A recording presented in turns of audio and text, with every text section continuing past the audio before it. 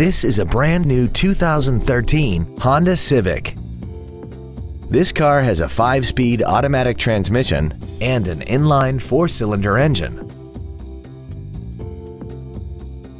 Its top features include a rear-view camera, a sunroof, a multi-link rear suspension, traction control and stability control systems, aluminum wheels, and a tire pressure monitoring system.